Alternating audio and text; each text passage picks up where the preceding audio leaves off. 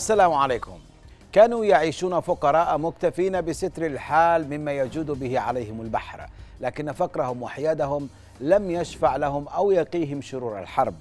تركوا بلادهم اضطرارا وهروبا من النيران التي كانت ألسنتها قد بدأت في الوصول إلى ظهورهم العالية. فضلوا التشرد والنزوح إلى مدينة أخرى ظنا منهم أنهم سيكونون فيها بأمان لكن حالة التشرد والنزوح لم تشفع لهم. فما إن استقر بهم المقام في مخيم للنازحين بالخوخة حتى لحقتهم الصواريخ المرسلة من ميليشيا الحوثي لتقتل عجوزا وتصيب أربعة عشر مدنية. بينهم طفلتان إحداهما بترت قدمها فيما تحتاج الأخرى لتدخل جراحي. الطفلة حنان علي مسبح وأسرتها يحكون في الفيلم التالي مأساتهم نتابع ثم نعود. نزحنا من الحديدة كنا عايشين في البحر. آخر اتحنا الحوتي ده هربنا للايم للخوخة. وكنا عايشين ألم جس لنا حديدة كنا نشتغل بنشتغلوا لهم الصيادين يوم انت نحصل يوم انت نستلف نجو نرجع نقاضي نحن ربين نقاضي. لما أتم حرب ذا وضد ذا نزحنا أواد للبلاد. جسينا حق مدة خمسة شهور درب أشهر ردينا أواد للبلاد أنا حديدي رجعوا نزحوا إحنا أواد من جديد أتحنا الحرب ذاك ذاك طيارة تكلا وصواريخ تكلا. مدينة الخوخة أتوحنا ضربوا هنا في المخيم بعدين نحن يشخص يجي نحن ضارب أنا بطول ند وجاسي ولا في أمل. ولا شيء واقفين تام حديدة هنا ناسحين في الحرب سبب حواتي ساعطونا إحنا خرجونا إحنا دحين مدينة أتينا هنا نزعنا في خوخة مدينة. عايشين نطلب الله في البحر. نضارب أنا بطولنا في البحر. ما أنا خلاف البحر حاجة. البحر بس مش تاني. ما أتحنا زي المحوتين نزحونا من الحديد هربنا لهم. الخوخة. أنا الجلب. جلب نجلب. العبار نجلب. سبح كم يوم. في السمك في البخ... بين الحبار بين المذيب ضارب اليومه نرد. أنا كذا هدي يومي. نضرب يومي نضرب بعدين بعدين يشتع ما نسوي نسوي شيء.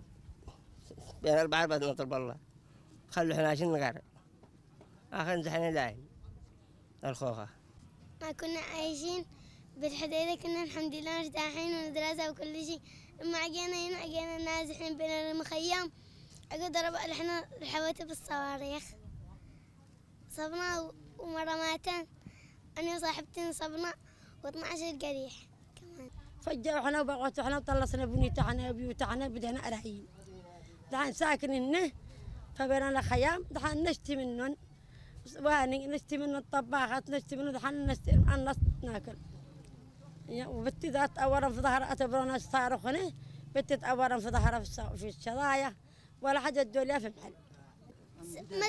ما سمينا ولا شيء ولا سمينا حاجة. سمينا لساني مدبقة لقينا فوق إحنا أنا أنا وصاحبتي حنان. ما ضربا بنتي واني بأن ندح بأدادها هذا الذي يتأجب على الصواريخ. قد أدى شغب أدى هذا الذي عشان يرجع وأنا في الحارة اللي هنا بأرض مخيم أولي. ما ضرب بصاروخ ده سمعنا اللي سمعنا بدرت بلك دانو جم حتى بيت داخن قلت ولدي ولد أجيب على بيتي داخن. الكناب الحقيقي والفرشة اللي بلنا يا باكن على ثلاثة كناب الفرشة دام الله دخل. أنا شبتي قطعتي كنت بنتي تسحب برا. طيحش أنا فرصة تبكي أتينا ما أتينا كده جلسنا. أتى الحرب. سبب الحوتي تا صاروخ دان داني داخل كاس صبن. أتى ظهرين صدايا. أتى.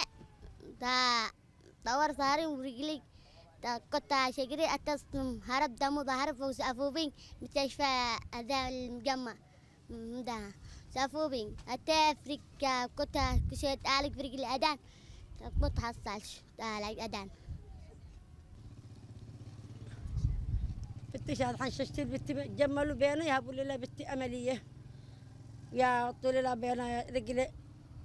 جزاهم الله خير. يعملوا لي علاج يعملوا لي حجمة طول في التك أنا اللي شهر وأنا طارق سنة ذلك ولو في أسبوع دم ثاني أسبوع دم ثاني. لأني شهر قال لي ما ضرب بصاروخ ذي وأنا ولا بقول بالتحل. معنا لأن أعرف شاي من يمن بوها مدد وقال أبوك سالنا أبوك ذاك قول لي ما هبل أنا. وأنا ما رجعت رجعت ما قعدت مدت بتاوس أنا عنده عدو. كل طلقوا لي بني يتجمل وشظايف ظهرت قلت تبكي من ظهره ورجيل تدايش ابني عمل لي. أهل الثواب يتجملوا بينك قولوا تستلوح رجلي. ولا عاد أمل لي بينك خير. حسينا خلاص افتقينا ذيك السما إحنا جايين ما نوطن هربنا اني شلينا نفوز إحنا وهربنا أنا محنا نقري ولا محنا نجي أتى من كذا من الشام. حق الهويته ثلاثة صبة ضرب واحد هنا في المخيم بهذل بالدنيا بهذلي. هو بهذل بهنا بهذل بهذل بالخيام بهذل بالجالي. أولا بلد ميت جاء أجوز ماتا. حسبت اني بس دبقة مجرد دبقة بس. أجي احس كذا حد وقي كله دم سافونا إحنا بينا متقم ودونا إحنا الجامع. بعد ما ودونا الجامع إحنا حولنا إحنا لم مخي. بيننا كشافة وابونا إحنا كل شيء. بعد نحاول إحنا لما خدي لقينا لمبة ثاني. ما باكش محل مخي. شظايا أتني من الصاروخ وهي في الخيمة في المخيم. هي جالسة تصب ثياب صباح قريب الظهر الساعة 11 ما أنا في في الخوخة في السوق ما تلقيت الدنيا كده بهجلي بهجلي. بهذلوا بهذلي. تقول لهم بيجر من دير دير اللي ذبحنا الله يأدبهم في الدنيا في الآخرة. اللي بهذل بحنا الحوتي ولا قرا ولا ما كان كان. اللي شمت بحنا وبهذل بحنا كذي. الله يدمره. الله يبهدل به. لم تتوقف ميليشيا الحوثي عن إرسال صواريخها باتجاه المدنيين منذ أن امتلكت القدرة على استخدام هذه الصواريخ. قصفت وما تزال تقصف المدنيين في كل المناطق التي يمكن قصفها في اليمن.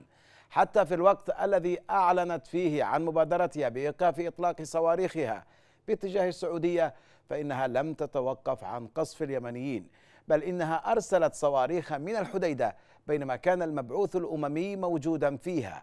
وكأنها رسالة من الميليشيا بأن, بأن هذه الصواريخ ترسل برعاية أممية. مشاهدينا الكرام للحديث عن قضية النازحين في محافظة الحديدة وما يتعرضون له من انتهاكات ينضم إلينا من عدن الناشط الحقوقي أحمد القرشي رئيس منظمة سياج لحماية الطفولة. مرحبا بك سيد أحمد. مرحبا أستاذ عبد الله لك وللسادة والسيدات المشاهدين جميعا أهلا وسهلا بكم. أنت واحد من أبناء آه، تهامة هل لك أن تحدثنا عن أوضاع سكان تهامة في ظل الحرب بشكل عام؟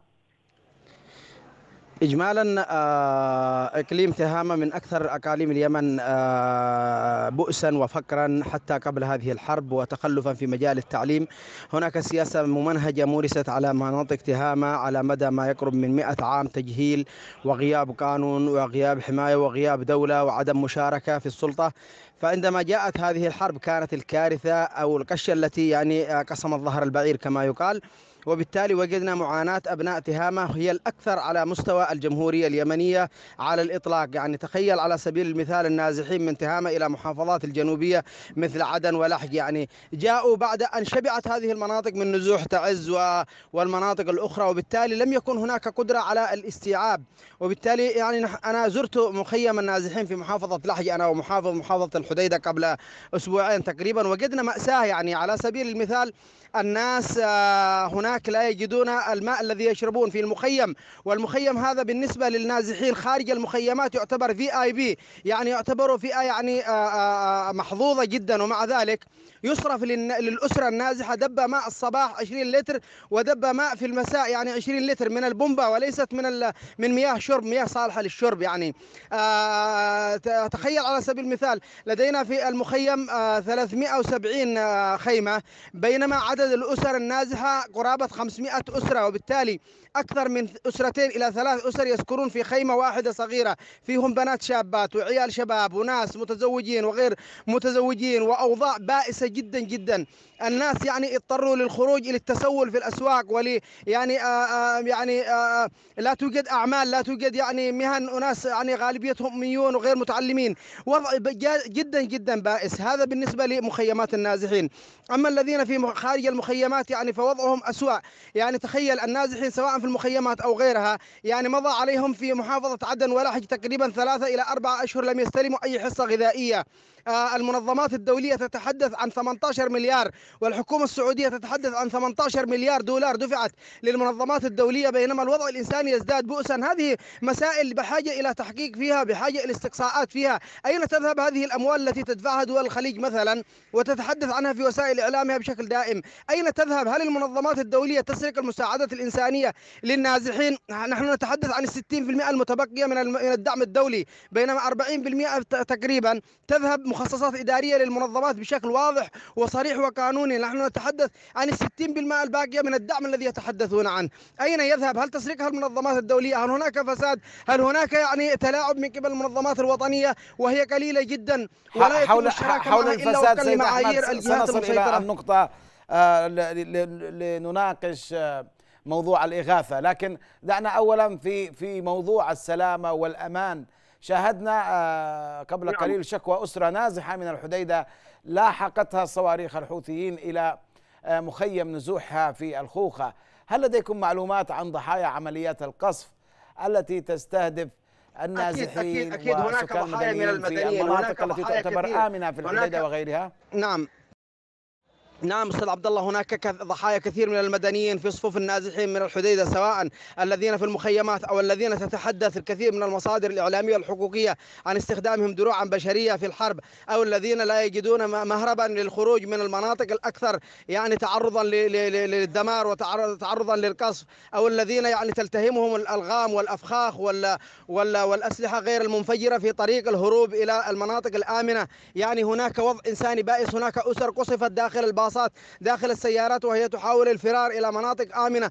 هناك يعني نقص حاد جدا في الخدمات الطبية والإنسانية. هناك يعني انعدام شبه كامل للمؤسسات الحكومية التي تقوم بدورها فيما يتعلق بتأمين المواطنين. نحن نتحدث عن مناطق صراع مباشر عن مناطق إطلاق نار مباشرة عن مناطق مستهدفة بالصواريخ بالكاتيوشا ب يعني الصواريخ البالستية بالأفخاخ بالالغام بإطلاق النار المباشر. يعني يعني بالقصف من الجو ومن الأرض. هذه م- مناطق يتعرض فيها المدنيون كثير من المدنيين يعني وقبل فترة يعني قصفت يعني آه، آه، سيارات كانت متوقفة في منطقة جبل رأس في في نقطة تفتيش تبع الحوثيين. قصفت من الطيران وهناك أيضا يعني مدنيون تم قصفهم يعني من قبل الحوثيين بشكل مباشر. هناك قصف أيضا لل يعني آه، تجمعات للنازحين. يعني مسائل يندى لها الجبين ما يصل إليكم كوسائل إعلام وما يصل إلينا كمنظمات مدنية لا يكاد يكون الكثير مما يحدث على الأرض. يعني الوضع الإنساني في الناحية الأمنية في الناحية الغذائية في الناحية الصحية في ناحية التعليم في كل النواحي منهار تماما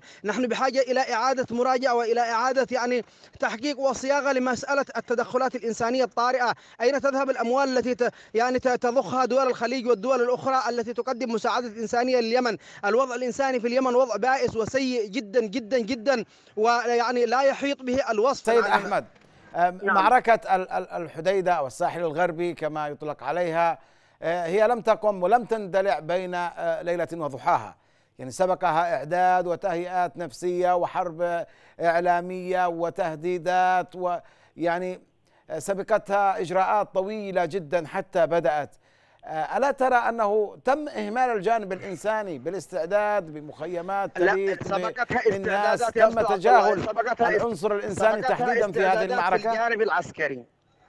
نعم سبقتها استعدادات في الجانب العسكري. أما الجانب الإنساني فلا يوجد أي استعداد. وأنا أكاد أجزم بأن السلطات المحلية سواء التابعة للحوثيين أو التابعة للشرعية لم تستعد بالشكل بالحد الأدنى لاستقبال النازحين. يعني المسألة يعني وفق سياسة ما بدأ بدينا عليه. يعني تجد المسؤولين الحكوميين يعني شبه عاجزين يستمعون إلى شكوى المواطنين وهم عاجزون عن تقديم شيء. السلطة المحلية تشتكي مثلا من عدم توفر الإمكانات السلطات الصحية التعليمية الغذائية وغيرها. تشتكي من عدم يعني هم يناشدون المنظمات كما نناشد نحن المنظمات هذا عيب كبير في وجه السلطات المحلية والسلطات الحكومية أن تتحول إلى نائحة تناشد المنظمات الدولية التي هي تمنحها الترخيص وهي من يجب أن تراقب أدائها منذ وضع ال- ال- ال- التصورات والمقترحات للمشاريع وحتى تنفيذها وحتى مرحلة ما بعد التنفيذ يعني أليس أليس هؤلاء المسؤولين جداً. المدنيين هم آه، ذاتهم الذين كانوا يعني يرعدون ويزبدون في في موضوع آه، تحرير الحديدة وأن المسألة قادمة لا محالة،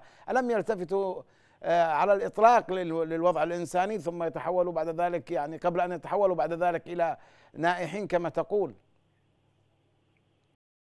المسؤولين الحكوميين عندما يتحدثون عن التحرير هم يتحدثون عن الجانب العسكري فقط لا يتحدثون عن الجانب الإنساني. على سبيل المثال لديك مل- أكثر من مليون مواطن داخل مدينة الحديدة حتى الآن لا يوجد أي استعداد على سبيل المثال في حال تم اقتحام المدينة لإيوائهم لتقديم الخدمات الصحية الخدمات الغذائية الماء الصالح للشرب لهم لا يوجد حتى الآن أي استعداد في هذا الجانب. أنا اجتمعت مع منظمة عربية كبيرة جدا يفترض بها أن تكون رأس حربة في الإغاثة. تقول بأن لديها 15 ألف سلة غذائية لمدينة الحديدة في حال تم تم دخولها من قبل الجيش. إيش 15 ألف حالة؟ إيش يعملوا بها؟ يصل إيش يصلحوا بها 15 ألف حالة يعني؟ ماذا عن على صعيد كيف-. كيف يمكن تقييم تجاوب المنشآت القائمة أصلا في المحافظة ويعني إمكانية مواكبتها للأحداث وللضحايا بحسب اطلاعي بحسب اطلاعي بحسب اطلاعي على معاناة ألو... الإخوة في ال... في إدارة الصحة في محافظة الحديدة. أنا أتحدث عن إدارة الصحة التابعة للحكومة الشرعية. يعني لا, لا توجد لديهم يعني الكثير من الاستعدادات على صعيد البشري على صعيد التجهيزات على صعيد ال- التقنيات على صعيد يعني هناك يعني احتياج مس حتى على صعيد الأمس... الأم... الأمصال وعلى يعني المغذيات والأشياء البسيطة التي يفترض أنها متوفرة.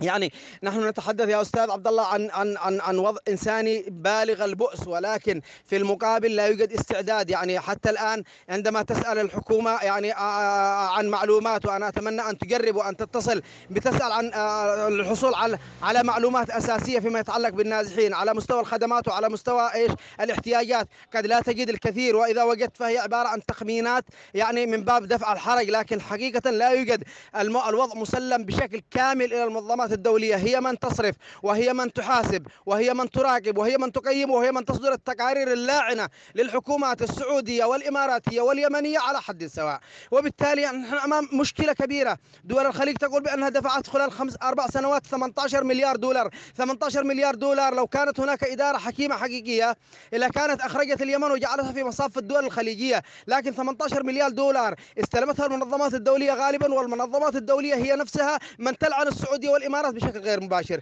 وهي من تلعن الحكومة الشرعية بشكل غير مباشر وهي من تحملهم مسؤولية وصول الناس إلى أكل الشجر وموت الأطفال من الجوع. اذا نحن أمام مشكلة كبيرة. هذا يقول بأنه يدفع وهذا ينكر الدفع أو ينكر أن يكون هذا الدفع يعني قادرا على مواجهة المشكلة ماذا الانسانيه عن إذا التدخل المباشر للتحالف؟ عبر مركز الملك سلمان. نعم. بإمكانك أن تسأل مركز الملك سلمان شخصيا أنا لست ناطقا باسمهم لكن أنا أقول لك بشكل عام أن التدخلات الإنسانية الطارئة في اليمن لا تكاد تذكر وان الوضع الإنساني المتفجر. هناك مبالغات من المنظمات الدولية لاستدرار عطف المانحين والداعمين لكن على سبيل على صعيد يعني التنفيذ هناك عجز. هناك أيضا خطط يعني قد لا تكون الكثير من المشاريع مستجيبة للحاجة الماسة. عندما مثلا تعمل حملات بملايين الدولارات ويصرف فيها دبة ماء فارغة وصابونة وحفايض نسائية بينما الأطفال يموتون من الجوع. يعني هذه مشكلة خطيرة جدا. عندما الأطفال لا يجدون المدرسة بينما تصرف يعني يعني الملايين على حملات دعائية للترويج للمنظمات. هذا هذا هذا بحاجة إلى إلى إعادة مراجعة. عندما يتم إقصاء المنظمات الوطنية العاملة في الميدان بحجة أنها غير مؤهلة وغير كفءه بينما يتم يعني استدعاء منظمات من داخل الدول الأوروبية وغيرها للعمل في اليمن بال- بالكوادر اليمنية. هذه مسألة مسألة بحاجة إلى مراجعة. التحكم في المعلومة التحكم في القرار التحكم في التقرير هو الذي يكاد يغرق الدول الخليجية رغم انها هي الدافعه لهذا المال. سيغرقها في المعلومات سيغرقها في الملفات الحقوقية التي سواء كانت صادقة أو كاذبة. هذه بحاجة إلى مراجعة الوضع الإنساني بحاجة إلى إلى إعادة النظر في السياسات والمنهجية القائم عليها مسألة يعني توزيع المساعدات الإنسانية وإيصال المساعدات الإنسانية، هل لا يزال مجديا أن نوزع للناس حصص غذائية ونصورهم ونتصور معهم؟ شكرا سلمان ولا شكرا إمارات الخير ولا شكرا يونيسف ولا شكرا غيرها، يعني هل هذه السياسات لا تزال هي المجدية وهي المنقذة للناس؟ أنا لا أكاد يعني أنا أكاد أقول بأنها هذه السياسات قديمة وبحاجة إلى مراجعة ولم تعد مجدية في اليمن، هل هذه تنفع السياسات في يعني فيها و- نسبة سيد نعم. أحمد هل هل هذا هذه السياسة نعم هل هذا ناتج عن هذه قصور في هذه السياسات ام ان المسألة فيها فساد؟ تنفع هذه السياسة آه، سياسة أنك توزع سلات غذائية لفئات محددة. هذه تنفع عندما يكون الدولة قائمة والوضع الإنساني جيد لكنه سيء فقط. لنسبة لا تكاد تذكر من المواطنين في الدولة. إنما عندما يكون المواطنون بنسبة 90% في اليمن بحاجة إلى تدخلات غذائية بحاجة إلى مياه بحاجة مثلا إلى إلى إلى إلى تعليم بحاجة إلى صحة فأنت بحاجة إلى مراجعة كيف يعني توصل هذه المساعدات. يا أخي أنت يجب أن تفكر. مثلا عندما يعني تبرعت السعودية ب 50 دولار لكل مدرس كحافز يعني الشهر الماضي. راحت وزارة التربية والتعليم اليمنية توقع اتفاقية مع اليونيسف لتوزيع ال 50 دولار. بالله عليك مؤسسة الكريمي للصرافة ولا كاك بنك ولا المؤسسات التي فيها أسماء وكشوفات المعلمين والتربويين وغيرها. غير قادرة على أن ت- توصلها إلى حساباتهم بشكل حوالة بنكية يعني بدون عمولة. لماذا يتم التعاقد مع منظمات دولية؟ إيش المشكلة؟ إيش الفائدة؟ نحن عندنا خراب في هذا الجانب خراب في تصورات المسؤولين الحكوميين خراب في قدرتهم على على إيجاد ربما بعض الجهات يعني. و- و- وبعض الدول. سيد أحمد تريد أن تعمل شو إعلامي وحضور وتعمل بروباغندا معينة لتمسح إحنا أيضاً مستعدين آثار نعمل سيئة إعلامي تعرضت لهم كعبه ونصلي لجهتهم.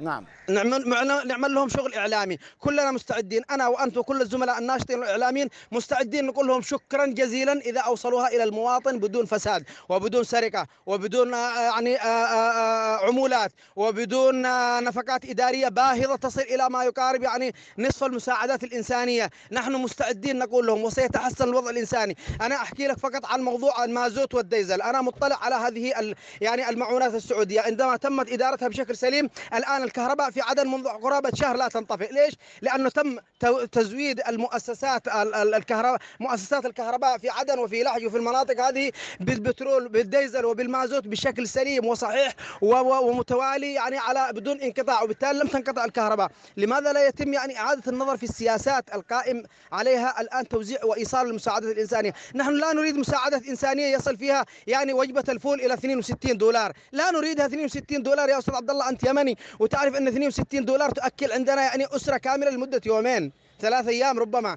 كيف يعني يصرفوا بها وجبة فول ويرجعوا يعملوا تبريرات وهي غير مقبولة لا منطقا ولا عقلا ولا قانونا ولا اخلاقا؟ يعني 62 دولار لوجبة الفول بالله عليك إيش من جنان هذا؟ نعم. هل من مراجعات يعني يتم طرحها من قبلكم كمنظمات مجتمع مدني مع هذه المنظمات الدولية آه، آه، تطرحون عليهم هذه الحجج وما الذي يعني آه، يمنع أن أن يصل صوتكم إليهم من منظمة إلى منظمة؟ نحن هنا يعني هذا الصوت الذي أتحدث به هو من باب الحرقة ليس على المواطنين المدنيين فقط ولكن حتى على الأموال التي تهدر. لدينا أموال كبيرة جدا وامكانات كبيرة يتم هدرها بشكل ناتج عن عدم وجود سياسات حقيقية عدم وجود يعني آه يعني آه تخطيط سليم عدم وجود رقابة ومحاسبة حتى على المنظمات الدولية. هل تتوقع دول الخليج أنها عندما تضخ هذه الأموال بهذا الشكل ال- الغوغائي للدول للمنظمات الدولية أن هذا سي- سيغفر لها مثلا خطاياها عند المنظمات الدولية. هذا تصور خاطئ وتصور يعني قديم جدا وغير مجدي. المنظمات تستلم الأموال وتعد تقارير تفصع بها ظهر الدول ظهر الدول الخليجية ول- وستلاحقها بها قضائيا في القريب والبعيد يعني من المستقبل. وبالتالي على الدول الخليجية أن تراجع النظر فيما يتعلق بسياساتها المالية فيما يتعلق بشركائها فيما يتعلق بالمنفذين على الأرض فيما يتعلق بآليات التنفيذ. هذه مشكلة خطيرة. أنا أتحدث كمواطن يمني وكناشط عن حقوق الطفل. أرى مأساة الأطفال. هناك أطفال الآن وصغيرات الآن يتم استغلالهم جنسيا في المدن اليمنية من أجل الإيه؟ العيش. هناك الآن ما يمكن أن نسميها الع- ال- الأكل أو الغذاء مقابل الجنس يعني موجود وبدأ ينتشر بشكل كبير جدا. هناك تسرب يعني أكثر من ثلاث ملايين طفل من مقاعد الدراسة. هناك مدارس مهدمة هناك أطفال يحتاجون إلى إلى الأكل إلى الحليب إلى لقمة العيش. نحن لا لسنا لسنا يعني آه، متطلبين يعني لقدر من الرفاهية. نحن نتحدث عن مواطن يحتاج إلى خبزة وفول. ما يحتاج إلى إلى إلى سمن وعسل وتغذيه أغذيه على على على النظام الأوروبي أو حتى النظام العربي في الدول الخليجية، نحن نحتاج إلى ما يسد الجوع فقط وهذا متعذر في بعض المناطق. كيف يمكن تصحيح هذا الخلل أو على الأقل تخفيف آه، هذا الانحراف القائم والفجوة القائمة بين نحن ندعو ما نحن ندعو نحن ندعو نحن ندعو. كمنظمة سياج. نعم. نحن ندعو كمنظمة سياج إلى مؤتمر يضم الدول الخليجية والعر... والأوروبية المانحة مع المنظمات الدولية مع منظمات وطنية مع يعني ل... ل... ل... لمراجعة السياسات القائمة. السياسة القائمة خاربة ولا تحقق الحق الحد الأدنى من الاكتفاء للمواطنين ولا توصل المساعدات الإنسانية. الكثير من المصادر المطلعة والخبيرة تجمع على أن ما يصل من هذه المساعدات إلى المواطنين اليمنيين قد لا يتجاوز 25 إلى 30% في أحسن الأحوال في أفضل الأحوال قد لا يتجاوزها. 40% تذهب إلى نفقات إدارية وما يقرب من 30% تذهب يعني مقابل يعني إدارة ومشتريات ومش عارف إيش وتجهيزات وسفريات ودراسات وكلام فاضي. والباقي يعني يعني تذهب إلى منظمات يعني يمنية البعض منها أو الكثير منها أو غالبيتها. يعني آه تم تقديمها للمنظمات الدولية وفقا لمعايير الطرف المسيطر على الأرض هو الذي يحدد من هم الشركاء ومن ليسوا شركاء. وبالتالي المنظمات الدولية تقوم بمساعدة آه، آه، أطراف النزاع على فرز وتصنيف المنظمات الوطنية العاملة بغض النظر عن كفاءتها بغض النظر عن قدرتها على الوصول بغض النظر عن خبرتها بغض النظر عن أي معايير مهنية أخرى. نعم. آه سيد أحمد بخصوص نعم. حماية النازحين أولا حماية حياتهم من الاستهداف المتكرر بالهجمات العشوائية والأخرى المدروسة في آه مناطق نزوحهم. ماذا يمكن أن تقول ككلمة أخيرة؟ آه، اولا يجب تحديد مناطق آمنة وتجهيزها تجهيز كامل وت- وتوفير يعني أدوات النقل وأدوات الغذاء والماء إلى هذه المناطق بشكل مؤقت. هذه يعني إسعافات طارئة. يجب أن يكون العمل الإنساني ال- استهداف المدنيين تحت أنظار الإعلام والمنظمات الوطنية العاملة في مجال حقوق الإنسان ويجب أن يتم فضح مثل هذه الممارسات. يجب تحريك دعاوى قضائية ضد من يستهدفون المدنيين بشكل يعني متكرر وبشكل يعني آه يعني آه نكاد نجزم بأن فيه ما يمكن أن نسميه يعني قتل متعمد وجرائم حرب ضد ال ضد ال وجرائم ضد الإنسانية، هذه قضايا يجب أن يتم وقفها بشكل عاجل وسريع، استخدام المدنيين دروعا بشرية، تفخيخ المؤسسات والمنشآت ال- ال- ال- ال- المدنية سواء كبيوت المواطنين أو كمؤسسات خدمية، هذه يفترض أن يكون فيها إجراءات قانونية يعني عاجلة. لا يتم الانتظار حتى تنتهي الحرب وندخل في يعني العدالة الانتقالية وجبر الضرر والكلام الفاضي. بينما الناس تموت من الألغام والأفخاخ وقصف الصواريخ وقصف الطيران. نعم. ألا يتم الاكتفاء بالتوثيق فقط. آه الناشط الحقوقي أحمد القرشي رئيس مؤسسة سياج لحماية الطفولة. كنت معنا عبر الهاتف. شكرا جزيلا لك. مشاهدينا الكرام انتهى وقت هذه الحلقة. نذكركم بأن وسائل اتصالنا مفتوحة من خلال الإيميل الظاهر أسفل الشاشة أو عبر صفحتنا على الفيسبوك. كما يمكنكم مشاهدة الحلقات السابقة من البرنامج على قناة بلقيس على اليوتيوب. الطفلة حنان علي مسبح وأسرتها المنكوبة تم الرصد في أمان الله.